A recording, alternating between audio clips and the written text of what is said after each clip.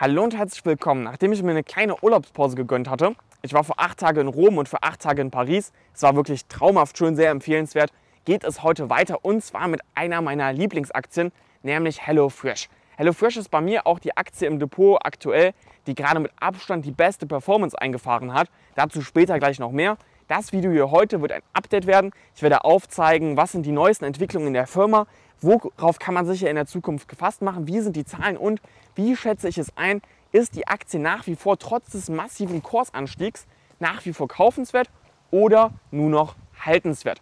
Beginnen werden wir aber erstmal mit der Frage, wird HelloFresh von Amazon zerstört? Das ist eine Zuschauerfrage, ich kann den Kommentar hier auch gerne mal einblenden, der ist ein bisschen länger, aber im Prinzip zielt das alles darauf ab, kann Amazon für HelloFresh zum Problem werden? Ich habe da eine relativ klare Meinung zu und möchte deshalb meine Gedanken mit euch da so ein bisschen teilen und auch ein paar Fakten nennen, die ihr vielleicht noch nicht kennt. Erstmal rein objektiv, wenn man darüber nachdenkt, so rational, das macht ja erstmal durchaus Sinn, die Frage, weil Amazon hat im Prinzip unendlich viel Geld. Wenn Jeff Bezos oder jetzt halt eben der neue CEO morgen aufwacht und sich denkt, wir wollen den Kochboxenmarkt erobern, wir wollen da unbedingt Marktführer werden, dann haben sie da erstmal eine sehr gute Ausgangsposition, weil Amazon hat wohl erstmal so das mit Abstand beste Logistiknetz der Welt und sie haben halt eben Unmengen an Kapital und können da immer weiter reinpumpen.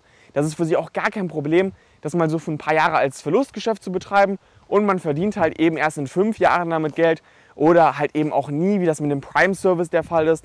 Das hat Amazon überhaupt nicht nötig. Also, wenn Sie das jetzt unbedingt machen wollen, dann stehen die Chancen erstmal gar nicht schlecht.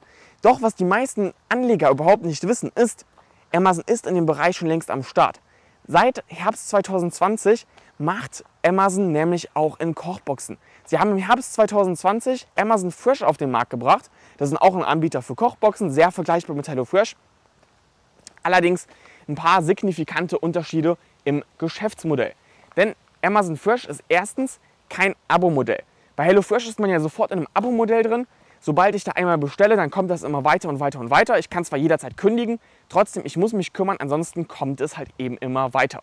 Da kann ich verstehen, dass manche Kunden das ein bisschen blöd finden, doch für die Firmen und vor allem auch für die Investoren, für die Aktionäre, für uns bedeutet das ein enormes Maß an Berechenbarkeit, was mir persönlich sehr gut gefällt.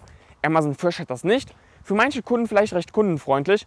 Und der zweite Unterschied ist zwischen Amazon Fresh und zwischen, ähm, zwischen HelloFresh, dass man Amazon Fresh nur bestellen kann, wenn man auch Amazon Prime-Kunde ist. Amazon Prime hat natürlich sehr viele Kunden, muss man sagen.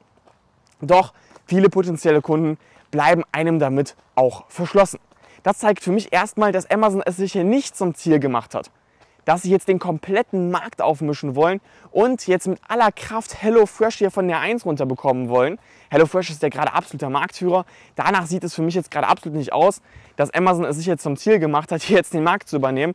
Sonst hätte man das Ganze mit Sicherheit nicht nur für Prime-Kunden geöffnet. So, wie hat sich der Marktanteil von HelloFresh seit dem Herbst 2020, als Amazon Fresh auf den Markt gekommen ist, verändert? Ich kann es euch sagen, HelloFresh konnte quasi in allen wichtigen Märkten ihren Marktanteil ausbauen. Also, obwohl die ganz große Sorge der HelloFresh-Aktionäre zur Realität geworden ist, Amazon ist auf den Markt gekommen, ist es ihnen gelungen, ihren Marktanteil quasi überall zu vergrößern. Das deutet für mich ganz klar darauf hin, dass es im Moment sehr wenige Anzeichen gibt, dass Amazon Fresh zu so einem großen Erfolg werden wird, dass sie wirklich zum Problem für HelloFresh werden könnten. Das liegt meiner Meinung nach erstmal vor allem daran, dass Amazon einfach nicht für Essen steht. Amazon wird mit vielem in Verbindung gebracht, aber nicht mit Kochboxen. Und eine starke Brand, die HelloFresh nun mal hat, die ist extrem wichtig, wenn man in diesen Markt erfolgreich vorstoßen will. Es ist also gar nicht mal so einfach, als großes Unternehmen, auch wenn man eine Menge Geld hat und eine gute Infrastruktur, da einfach so in diesen Markt reinzukommen und da mal ebenso alles zu übernehmen. Diese Erfahrung musste auch schon Lidl schmerzhaft machen. Lidl hat sich nämlich im Jahre 2017 auch in den Markt der Kochboxen äh, vorgewagt und es ist komplett gescheitert. Das Kochboxengeschäft von Lidl hat einfach nicht funktioniert. Die Kunden haben nicht gut darauf reagiert. Woran das jetzt gelegen hat, Spekulation, weiß ich nicht.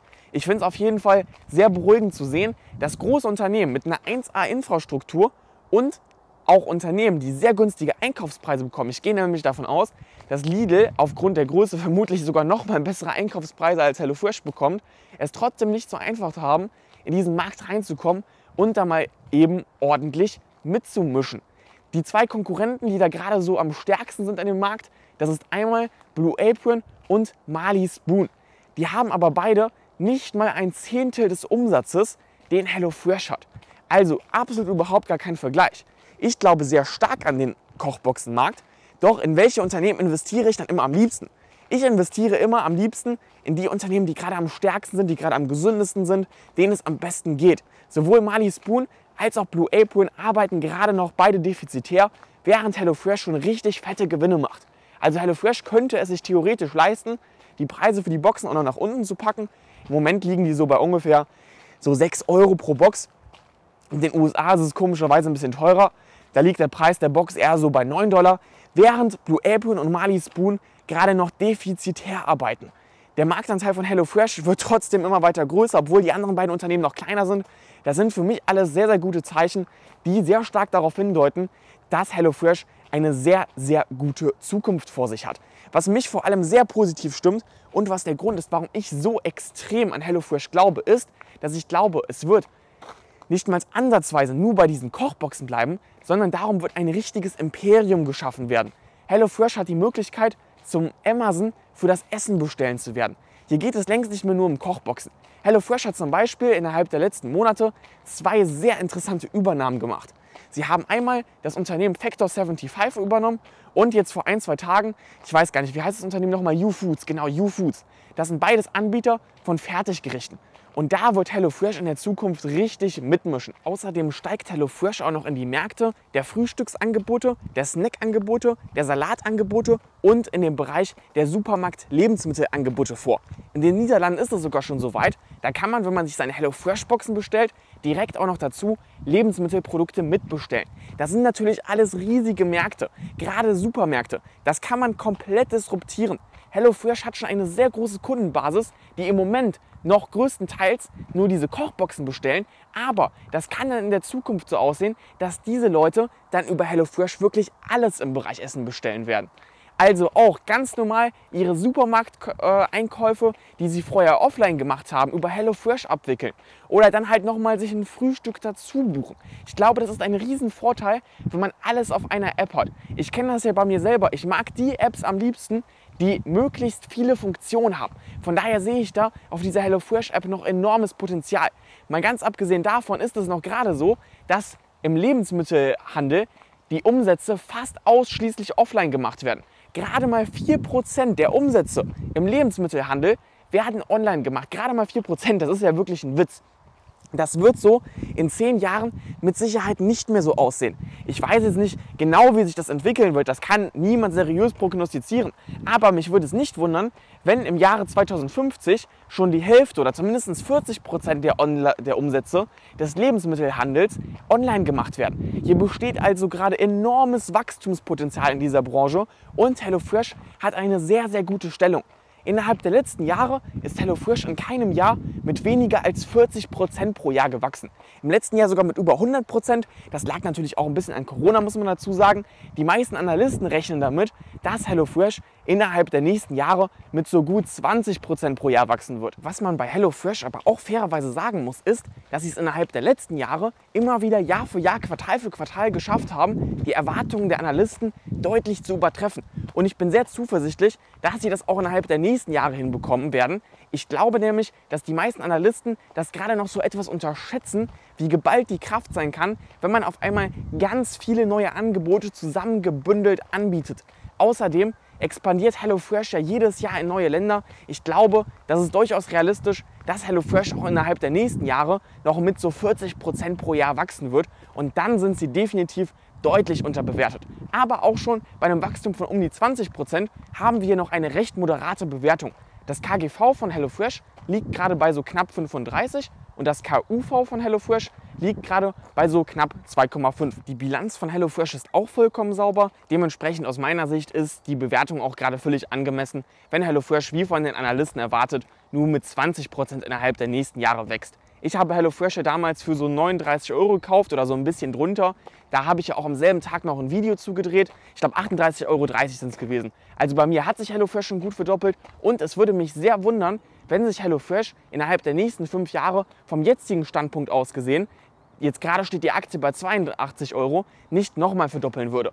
Also bis 2026 gebe ich mal das Kursziel von 164 Euro aus. Da bin ich eigentlich sehr optimistisch, dass das erreicht werden wird. Ganz wichtig bei so einem jungen Unternehmen ist ja immer die Führung. Und die Führung bei HelloFresh ist ausgezeichnet. HelloFresh ist immer noch gründergeführt. Der CEO heißt nach wie vor Dominik Richter. Dominik Richter hat einen absoluten Vorzeigelebenslauf. Er hat erstmal an der WHU studiert. Das ist ja so eine Vorzeigeuniversität in Deutschland, so eine Elite-Universität, so würde ich es mal nennen. Da muss man, glaube ich, auch für zahlen. Auf jeden Fall ist die sehr angesehen. Da hat er seinen Bachelor gemacht. Danach ist er zur London School of Economics gegangen. Auch sehr angesehen, auch so eine Elite-Universität. Währenddessen hat er auch schon so zwei Startups gegründet. Die haben allerdings beide nicht so gut funktioniert. Das ist bei Startups jetzt aber auch nichts Ungewöhnliches. Die meisten Startups, das muss man sich nun mal immer ähm, klar machen, die gehen halt pleite. Das muss man sich halt auch klar machen, wenn man selber in so junge Unternehmen investiert. Die Wahrscheinlichkeit, dass die pleite gehen, ist immer relativ hoch. Mit HelloFresh hat es dann halt eben sehr gut geklappt. Er hat es im Jahre 2011 gegründet und seitdem eine Wahnsinns-Erfolgsgeschichte. Dominik Richters Vermögen liegt bei ungefähr 600 Millionen Euro und besteht fast ausschließlich aus HelloFresh-Anteilen. Das gefällt mir persönlich immer sehr gut. Ich liebe gründergeführte Unternehmen, weil da einfach sichergestellt ist, dass der CEO dasselbe Interesse hat wie ich, nämlich den langfristigen Erfolg des Unternehmens. Es geht Dominik Richter hier bei HelloFresh mit Sicherheit nicht darum, hier von Quartal zu Quartal zu hetzen, wie das bei dem einen oder anderen Angestellten-CEO der Fall sein dürfte, damit sie dann auch irgendwie ihre Ziele erreichen und einen möglichst hohen Boni abstauben. Ich bin also nach wie vor absolut überzeugt von HelloFresh. Auch die Aktienbewertung finde ich völlig in Ordnung. Die finde ich sogar noch relativ günstig. Wenn ich jetzt so einen Punkt nennen müsste, der mir bei HelloFresh nicht so gut gefällt, ist es, dass sie kein gutes Bio-Angebot haben. Das kann ich persönlich nicht so richtig nachvollziehen. HelloFresh richtet sich ja eindeutig an etwas besser verdienende und unter etwas besser verdienen ist nun mal der Anteil an Bio-Essern sehr, sehr hoch. Ich habe auch schon aus dem privaten Umfeld gehört, dass sie HelloFresh nicht weiter bestellt haben, weil es halt eben kein gutes Bio-Angebot gibt, beziehungsweise da ist halt eben nichts Bio oder zumindest ähm, nicht alles Bio. Das ist bei mir auch der Grund, warum ich noch nie ein Fleischgericht bei HelloFresh gegessen habe, weil es dieses Angebot halt einem einfach nicht gibt. Also warum, das kann ich mir nicht so ganz erklären. Das wäre mal so eine Frage, die ich ähm, Dominik Richter bei einer Hauptversammlung stellen möchte. Naja, ähm, irgendwas passt einem halt immer nicht bei, je, bei jedem Unternehmen. Trotzdem, ich bin sehr überzeugt. Das war meine Einschätzung zu HelloFresh. Ich laufe jetzt noch so ein bisschen rum. Ist ganz nett hier eigentlich. Ähm, schreibt mir gerne in die Kommentare, ob ihr es lieber habt, wenn ich so rumlaufe oder ob ihr es lieber habt, wenn ich sitze. Ähm, vielen Dank fürs Zuschauen. Bis zum nächsten Mal.